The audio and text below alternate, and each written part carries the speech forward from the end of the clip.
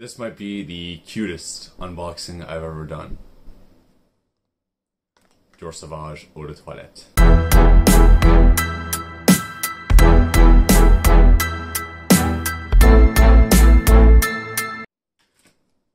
Little backstory on this one. Um, I was shopping at Nordstrom the other day for some skincare, and uh, my uh, can I say this? Uh, personal skincare stylist. Not no, not stylist, but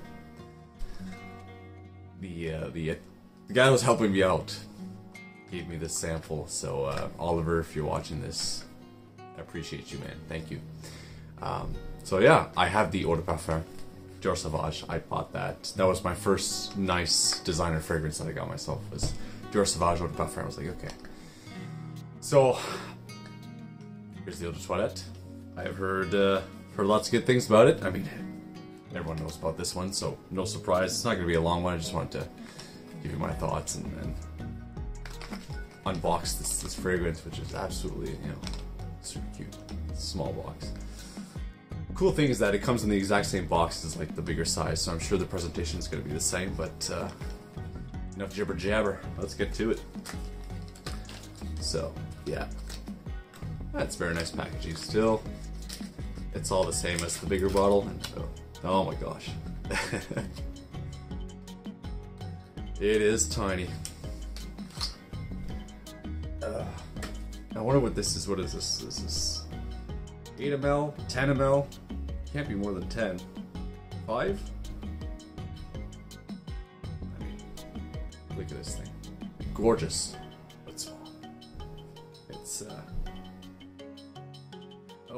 Okay. Okay, so it's a it's not a magnetic cap. I was wondering, is it going to be the same type of cap as, as the larger bottle? But uh, this is actually a screw cap. you- Oh no way. Okay. Is this a? Oh. Okay, you de. Oh, that's nice. Okay, so it's like a. You dab it on. It's not an atomizer, but uh, yeah.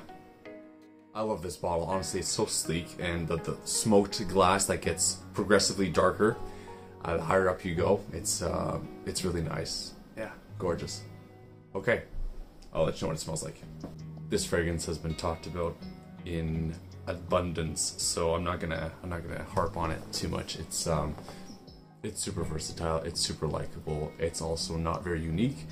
A lot of people are wearing this. Um, it's it's very predictable. It's very safe, so it might not get you, you know, um, creativity or uniqueness, but it's very likable.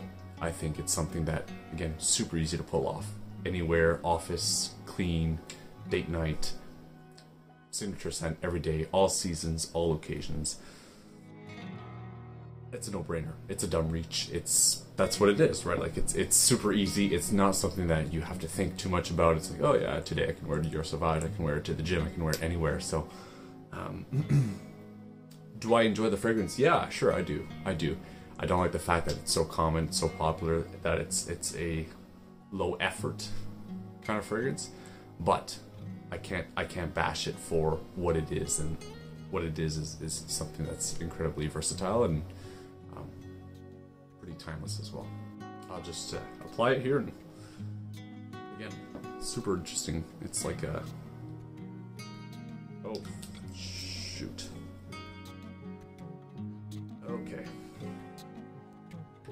Well, I just soaked my hand.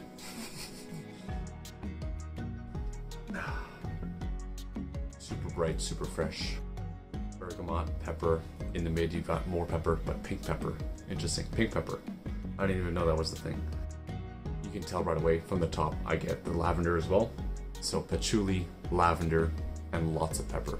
Pepper in the top, pepper in the mid. Yeah, it's, it's great. Fresh, floral, bright, spicy, spicy floral. And in the base, you've got ambroxan, cedar, labdanum. Again, it's a fantastic formula. It works. It's just boring, could I say? Just because it's it's it's so used and abused. Um, do I recommend it to someone who just wants one fragrance, starting out, wants something that is timeless that they can use now, they can use in five years. Uh, they just want one nice designer fragrance. Yeah, of course, of course. I think maybe the Eau de Parfum is a little more interesting, but Eau de Toilette, you can't go wrong. It's got fantastic performance as well. From what I've heard, it's it's an all-day scent, eight hours plus. Great projection. Pull this off at the club. It's it's pumping off two feet easily. But um, I really enjoy it. I think it's great. I just wouldn't be a fragrance that I would feel it, it, when I wear the Eau de Parfum. It's not something that that makes me excited to wear fragrances. I wear it because I enjoy the scent. I wear it because I know, hey, you know, it's an easy compliment getter. But it's not something like, oh yeah, today I'm gonna plan to wear this outfit in this occasion, this scenario, and this fragrance. It's it's it's a dumb reach. So less thought often means less excitement, in my mind. But yeah, that's all I have to say. Eau de toilette, Sauvage. You know it, it works. That's how it is. Um, thank you again, Oliver. Really appreciate it, man. Um, and uh, yeah, I hope you guys enjoyed it. I'll catch you in the next one. Cheers.